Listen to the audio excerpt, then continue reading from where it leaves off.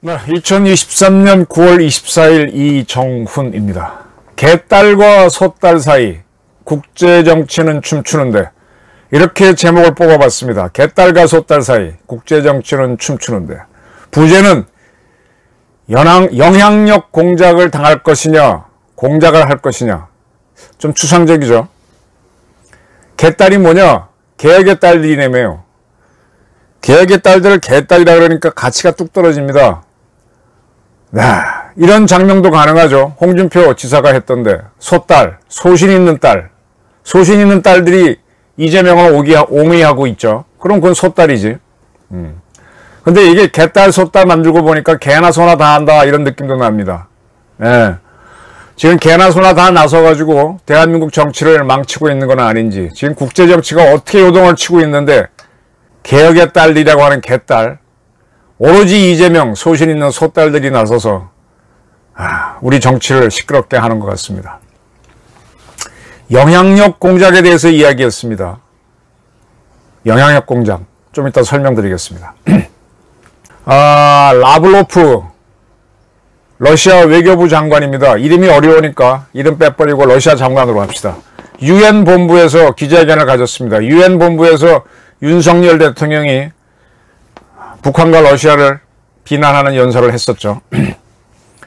그 자리에서 이 러시아 외교부 장관도 기자회견을 하면서 자기가 다음 달 10월 달에 북한을 방문하겠다.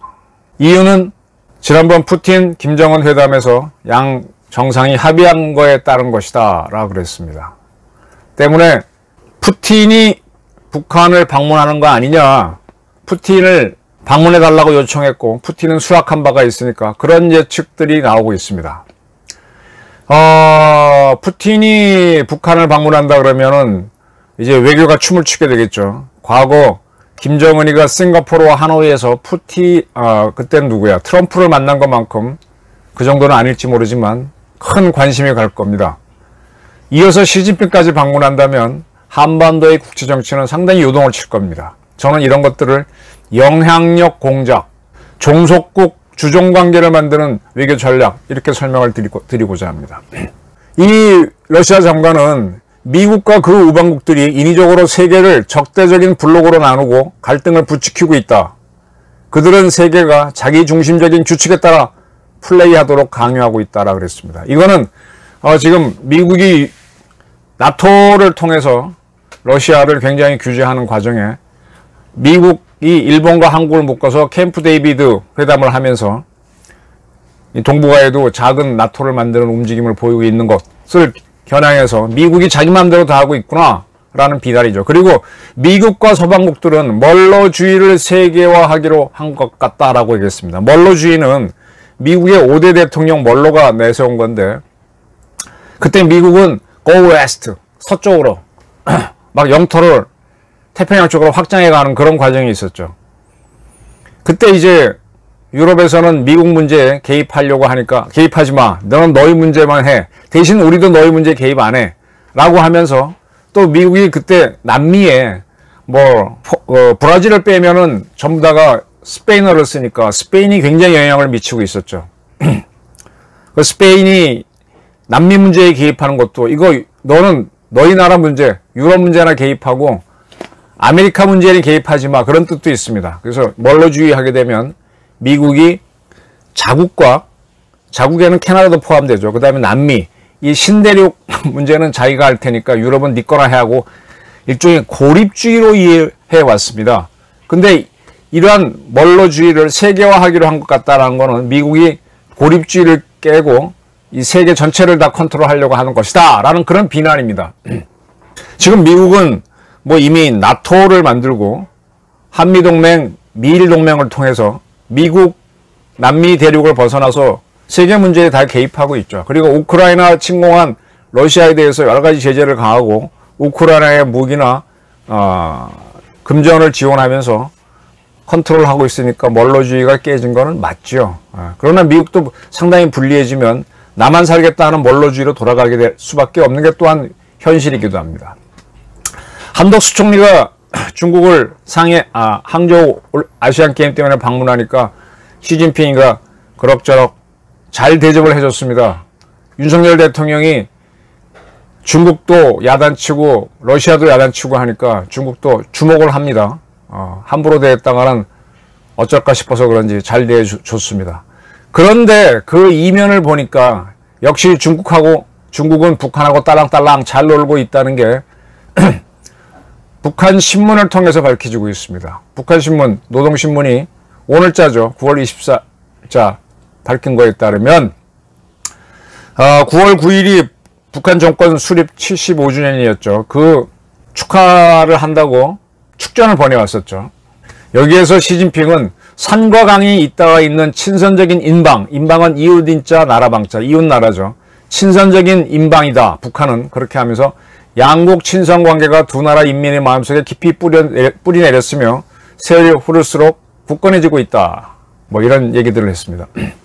새로운 정세하에 중국 측은 조선 측과 함께 전략적 의사소통을 강화하고 실무 협조를 심화시키며 중조 관계를 시대와 더불어 전진시켜 보다 큰 발전을 이룩하도록 추동함으로써 두 나라 인민에게 보다 훌륭한 복리를 마련해주고 지역의 평화와 안정, 발전 번영에 보다 큰 기여를 할 용의가 있다라고도 했습니다. 자, 이렇게 계속 이제 북한하고는 친하게 지내겠다. 자라, 잘 지내자. 너랑 나는 국경을 맞대고 있는 이웃 국가다. 이런 강조를 했습니다. 제가 앞에서 영향력 공작이라는 단어를 썼습니다. 이거는 우리 국정원이라든지 정보기관에 있는 사람들은 가끔 쓰는 말인데 이게 뭔가 하면요. 지금 중국하고 우리는 1992년에 복교를 하면서 평화관계로 들어갔잖아요. 그래서 중국하고 우리는 전쟁을 하지 않습니다. 하지 않습니다. 하면은 이게 문제가 됩니다. 그런데도 불구하고 중국이 핵을 갖고 있고 또 경제력 인구가 많으니까 그렇지 세계 2위의 경제국이다 보니까 경제 뭐 중국이 수입을 줄이거나 원자재 수입을 안 하거나 그러면 우리 경제가 좀 힘들어지죠. 그렇게 해서 대국 행세를 하는 겁니다. 핵무기도 갖고 있고 하니까. 그리고 또 주변국들을 동원해서 압박할 수도 있고. 이렇게 해서 우리가 중국하고 싸움 지내면서 공격을 당할 수 있다라는 이 겁을 먹게 되는 거죠. 그래서 중국이 뭐 하게 되면 에이 따라가야지 하고 따라가게 되는 게 영향력 공작이 먹히는 겁니다. 이거는 국가 간의 외교를 할 때 평등한 것 같지만 원래 평등을 보장하는 게 베스트 팔렌 조약이거든요. 내가 제국이든 왕국이든 공작이 이끄는 공국이든 공화국이든 똑같다라는 게 베스트 발렌 체제고 지금은 그런 체제에서 움직이지만 실질적으로는 국제정치는 힘에 의한 거니까 힘이 있는 나라가 딱 하면은 끌려갑니다. 미국은 실질적으로 공격은 하지 않더라도 무역 제재 여러 가지를 통해서 전쟁은 하지 않는다고 약속했으니까 평화조약 맺었으니까 그래서 그 나라를 굴복시키죠.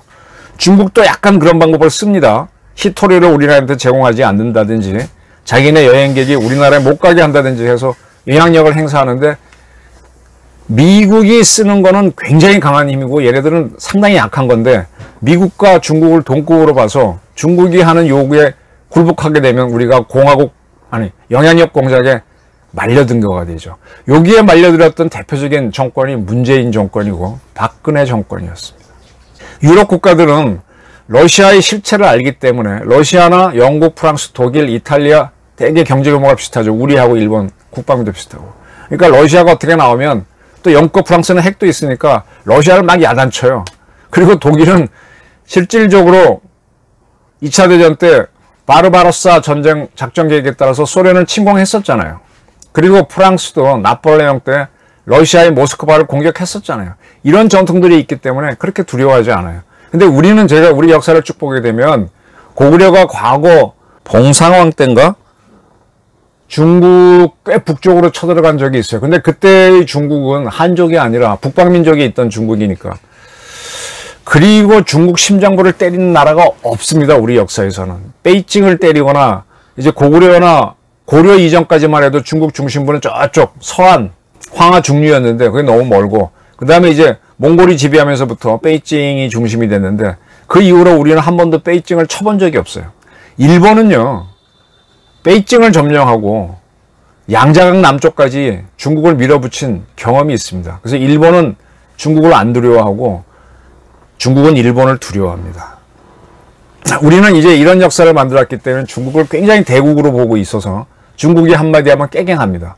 중국 유학생들이 요즘 한국에 안 오죠. 각 대학들이 좀 스트레스를 받고 있고 또 중국이 어, 경제가 안 좋으니까 우리 경제가 안 좋아서 아 중국을 잘 다뤄야 된다라고 하면서 스스로 중국이 뭐라 하면 우리 대통령이 한 것처럼 따라가는 게 되는 게 영향력 공작에 말려드는 거죠. 자 이게 이제 중국이 노리는 대 코리아 외교 공작입니다. 두 번째로 중국이 하는 외교 공작은 뭔가 하면요. 중국 처지에서 자 중국이 있습니다. 그 주변 국가들이 있죠.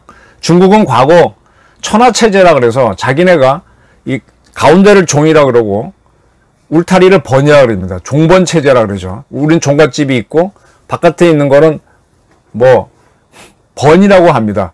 일본에 가게 되면은 어 사스마 번 무슨 번 이런 게 있죠. 번. 그게 뭔가 하면 교토가 중심이고 나머지는 다 번이죠. 그 번에 있는 번주들이 다이묘들이 막 싸우는 게 일본의 전국 시대가 되는 거고 그 중에 한 다이묘인 번주였던 도쿠가와 이에야스가 일본을 천하통일 하면서 자기가 이제 한 게 이제 그게 막부 정권이 되는 거죠. 예. 거기 번주가 리더가 되는 겁니다. 냈던 게 일본의 막부입니다. 중국이 이제 종번 체제를 만들어서 자기네는 제국이니까 황제가 있고 주변 국가들은 번국이다 이렇게 합니다. 그러면서 번국의 군주들한테 나는 황제니까 너는 왕을 해라 왕 자기를 나눠주면은 그 나라가 어느 날 순간에 왕국이 됩니다. 우리는 스스로 왕국이 그렇게 받아서 왕국이 돼버린 나라죠. 근데 이제 몽골이나 이런 나라들은 그걸 받지도 않고 스스로 칸이라 그러죠. 징기스 칸, 칸, 쿠빌라이 칸. 근데 그들도 중국을 점령해서 제국을 운영할 때는 중국식으로 황제를 자처하면서 물론 칸이란 말도 썼지만 중국화되는 모습을 보였었습니다. 그래서 중국은 자기네가 만든 법, 언어는 전혀 중요하지가 않아요. 미국 내에서도 한국어 쓰는 사람이 있고 스페인어 쓰는 사람이 있고 있습니다. 미국도 마찬가지요. 자기네 법이 통하는 나라는 지역은 자기 나라다. 이게 이제 자기 종주국의 범위에 들어가는 거고 자기네가 만든 외교 정책이나 문화를 따라오면 번국이라고 합니다. 우리 같은 경우는 중국식 한자를 쓰고 굉장히 중국이 경도된 나라니까 번국이고 속국이 되는 거죠. 그렇게 해서 그가 세월이 지나서 그 나라도 중국법이 통하면은 내 나라다 하고 먹어버리는 거죠.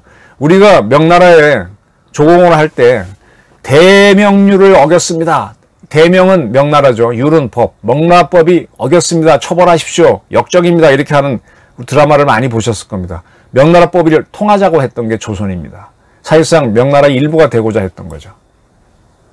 그러다가 기막히게 우리가 빠져나왔습니다. 자, 중국은 그러한 그렇게 주변국을 통제한 경험이 있기 때문에 이 번국을 관리합니다. 이 번국이 중국에 가깝고 중국을 충성해줘야만 저 멀리 있는 또 강대국이 올 때 얘네들이 완충 국가를 해줘요. 그래서 얘 네들이 상당히 문제가 있어도 이렇게 용납을 해줍니다. 무너지면 약간 경제 지원을 해서 살게. 그러나 이 번국도 커져가지고 일본에서는 번국이 커져가지고 중앙을 다 먹어봤잖아요. 그게 도쿠가 이에야스 정권이 되는 거죠. 그 예전엔 도요토미 히데요시고 그래 오당 노부나가 그전에 그렇게 했었고. 그러니까 이 번국이 커지는 거를 막기 위해서 상당히 이렇게 억압은 하지만 또 망하면은 더 큰 외세가 들어오니까 또 적당히 지원합니다. 이게 종번 체제예요. 그러면서 자기네는 하늘을 이었다 천자고 너희들은 신하다. 아, 이런 시스템을 계속 운영기 국제중기에서 퍼트리는 거죠. 그게 바로 중국이 고대부터 해왔던 영향력 공작입니다. 지금 시진핑이가 우리 한덕수 총리가 가니까 윤 대통령이 상당히 이제 자주성을 가니까 한덕수 총리를 대접해 주면서 그러면서도 북한에 대해서 이 구구절 축전을 딱 보내서 너도 나의 인방이야 친한 친구야 이렇게 하는 게 무슨 뜻인가 하면은 중국 주변에 있는 여러 나라가 있는데 중앙아시아 나라들은 별 볼 일 없고 몽골도 힘이 없고 베트남하고 한국이 문제인데 한국 중에서도 북한이 만만하죠. 북한이 가장 가까운 번국으로 있고 그 다음에 우리가 가까운 번국으로 있으면 중국은 편한 거죠. 둘 다 자기네 나라랑 한 나라가 되지 않아도 돼. 그건 다음 다음 문제야. 그래서 북한이 까불어도 핵실험을 해도 야 하지마! 라고 해놓고 나서는 알았어 알았어 적당히 해. 이렇게 봐주고. 또 우리가 이렇게 반중 친민 노선을 가도 어 알았어. 이해해. 잘 하면서 이렇게 이렇게 하면서 계속 대국인 것처럼 하면서 힘을 보여주는 겁니다. 근데 중국의 실, 실체는 제가 보기에는 그렇게 대단하지 않다. 핵을 갖고 있고 바로 핵을 갖고 북한이 핵을 가지려고 한 것도 핵을 가지고 있으면 영향력 공작을 하기 좋은 거거든. 지금 대한민국 민주당에 있는 주사파들이 날뛰는 것도 북한이 뭐라고 겁을 주면 우리가 한판 붙자 그러면 전쟁하지 않은 겁니까? 네, 이명박 때 천하람 사건 당하니까 민주당에서 나왔던 게 이명박 정부를 공격하는 말이 전향하자는 겁니까? 이러고 나왔잖아요. 바로 북한의 영향력 공작에 걸리는 거죠. 그래서 이 전체주의 국가들은 항상 강력한 무장을 하려고 합니다. 중국이 그렇고 소련이 러시아가 그렇고 북한이 그렇습니다. 자, 지금 중국이 이렇게 했고 소련의 외무부 장관이 북한을 가겠다, 또 푸틴이 갈 수 있겠다 하는 것도 자기네 핵 능력을 믿고 한반 우리를 한번 압박해 보는 거죠. 영향력 공작을 해보는 거예요. 문재인 같으면 어마뜨거 하면서 중국과 러시아를 잘 다뤄야 된다 하면서 혼밥을 먹으면서 쫓아가겠지. 근데 윤석열은 어떻게 할지 모르겠습니다. 지켜봐야 되는데.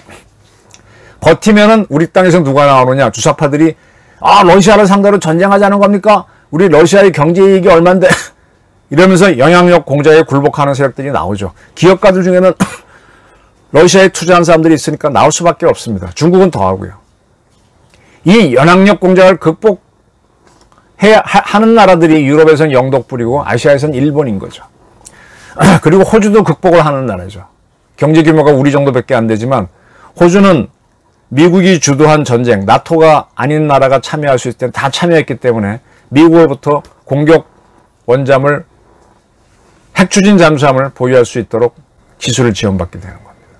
지금 한국이란 나라를 놓고 미국과 중국이 서로 영향력 공작을 하는 거예요. 근데 중국이 차츰차츰 먹어 들어오고 있습니다. 여기에서 우리는 우리는 뭐 우리 스스로가 대국이 될 수 없잖아요. 제가 죽거나 이 방송을 보시는 분들도 한 자손 10대가 내려갈 때까지는 대국이 못 될 겁니다. 그럼 우리는 어디 붙어서 생존할 수밖에 없는 나라인데 그럼 어디에 붙을 것이냐? 중국에 중국에 투자한 사람 중국에 붙자 그러겠지. 근데 제가 보기에는 중국은 이 번국들이 약해지면 자기 영토화하는 습성이 있었어요. 중국은 원래 큰 나라가 아니라 자꾸 이렇게 잡아먹었잖아요. 근데 미국은 미국도 잡아먹었습니다. 동부에 있던 세력 13개 주가 계속 서부로 해서 미국을 먹고 캐나다, 멕시코 영향까지 다 집어넣었잖아요. 나토까지 넣었잖아요. 그러나 그러나 미국은 우리하고는 태평양에는 엄청난 바다가 있어서 영토화하는 게 굉장히 불편합니다. 그리고 미국은 구체적으로 영토화는 안 하겠다라는 게 자기네 전략이고 영향권 안에만 있으라는 거거든. 그리고 미국과 연합하게 되면 우리라도 경제적으로 번성을 하고 더 국가적 지위가 올라갑니다. 이게 국제 정치입니다. 요거를 보면 됩니다. 그래서 중국이 하는 또 러시아가 지금 펼치는 또 북한이 핵을 갖고 하는 그래서 이 땅에서 주사파가 춤추고 날뛰게 되는 영향력 공작에서 얼마나 빠져나오느냐. 이거를 할 수 있는 이거를 보고 싸우는 주체 세력이 제가 보기에는 외교부 친구들은 요거까지 못 보고 늘 국정원 친구들이 만나면 영향력 공작, 종번 체제에 말려들고 있어 얘기하고 저도 그런 공부를 했고. 그래서 이해가 되는데 자 이걸 깨는 방법이 뭐냐. 우리도 공작을 하는 거예요. 중국에서 민주화 시기가 나서 시진핑이 요즘 한참 독재를 하고 있는데 무너지게 만드는 거지. 어려울 것 같죠? 일본에서, 일본 개혁이 때, 일본에 육사 나오고 한 젊은 장교들이 우리 땅으로, 만주로, 중국으로 들어가면서 그쪽 지도를 그리고 그쪽을 어떻게 뒤집을 수 있느냐 이런 작정들을 짜게 되죠. 그래서 1931년 만주 사변을 일으켜서 그것도 일본, 일본 육군 중앙 육군이 한 게 아니라 파경 군대인 저기 만주에 파견해온 관동군 에서 제 기억으로는 소자하고 소령하고 중령이 작전 계획을 만들어서 만주를 중국에서 띄어내서 만주국을 만들어 버리죠. 그리고 중국을 침공하는 것도 일본 군인들이 만든 거예요. 그러니까 우리도 이거를 하면 할 수 있는 겁니다. 우리가 일본한테 늘 지지 않는다고 하는데 축구할 때만 지지 않고 이런 거는 왜 못하냐 이거지. 북한을 어떻게 와해시키느냐. 그래서 제가 계속해서 우리 국가정보원이 정보를 구하고 우리 육군과 해군에 있는 특수전부대, 그 다음에 정부사의 특수전부대를 동원해서 미국이 알카이다 세력 제거하듯이 탁탁 작전을 하라는 겁니다. 그래야 공포를 주면 저들도 어마어마하고 영향력 공작을 우리한테 당하게 되는 거죠. 중국에 대해서는 그게 어렵겠지만 외교적으로 중국 민주화 공작을 계속 자 베이징에서 베이징 대학 청와대학 학생들이 님을 위한 행진곡 광주 출전가를 그들 버전 번역해서 부르면서 나오면서 타쇼타도 하게 나오게 하는 게 그게 우리의 공작이 거죠. 이런 공작은 2차 대전 때, 아니 1차 대전 때 일본이 1차 대전 아니 1차 대전 전에 러시아가 공산화될 때 일본 군인들이 무관으로 가서 러시아에서 했었습니다. 러시아가 공산화되도록 공작을 했다. 그게 시바리오타가 쓴 사카노 우메 우에노 쿠메 언덕 위에 구름 보게 되면 소설이지만 쫙 묘사가 돼 있죠. 그렇게 담대하게 했기 때문에 일본은 동아시아 변방의 섬나라지만 강대국으로 올라섰던 겁니다. 미국한테 져서 깨갱해서 그렇지 세계를 다룰 줄 아는 거고 그러다 보니까 아베하고 지난번 아소 외무상인가 그 두 친구가 인도 태평양 전략을 만들게 되고 그걸 미국이 받아서 같이 인도 태평양 전략을 하게 되는 거죠. 우리도 그런 반열에 올라 올라가야만 통일을 할 수 있고 중국을 다루는 겁니다. 그런데 그러한 정책을 같이 해야 될 민주당에서는 개딸하고 소딸이 설치고 있어요. 거기에 업혀갖고 이재명이는 단식하다 안 하다. 그러니까 제가 띠리 띠리 띠리 어, 나훈아의 공이나 들어라 이러, 이러는 거죠. 국제 정치가 어떻게 춤추는지도 모르고 이렇게 살아가는 게 국내 정치에 몰입해서 개딸과 소딸 그 환호에 빠져 있는 이재명 좀 답답하지 않습니까? 그리고 국힘당도 마찬가지예요. 크게 보고 가야 되고 지금 국가정보원이 김구현 씨가 있으면서 이 시야가 좁아요. 제가 보기엔. 그리고 이종섭 국방부 장관도 굉장히 좁은 사람이었어요. 이 신원식 장관이 가게 되면 어떻게 할지 모르겠는데 신원식, 김규현, 그 다음에 이제 조태용 실장하고 김태호 안보 차장, 1차장이 이 그림들을 그려가줘야 되죠. 그래서 암, 중국과 러시아, 북한이 펼치는 영향력 공작. 지금 러시아도 우리도 평화조약을 맺었기 때문에 전쟁은 못해요. 북한은 우리하고 평화조약 안 맺게 전쟁할 수 있지만 유엔 체제를 깨고 하긴 매우 어렵습니다. 그래서 계속 영향력 공작이고 그게 먹혀서 여기서 주사파가 점점 커져갖고 지들이 권력을 잡고 북한하고 통일하겠다 문재인처럼 그렇게 되면은 북한식으로 통일을 내는 겁니다. 거기에 말려들어서 장단 쳐준 게 주사파란 걸 아시고 그 주사파 세력들이 어떻게 모양을 바꿔서 개딸과 소딸이 돼서 이재명을 옹위하고 있다. 이걸 보시면 한국의 큰 그림이 나올 겁니다. 개딸과 소딸 사이에 속지 마시기 바랍니다. 긴 말씀이었는데 경청해 주셔서 감사합니다.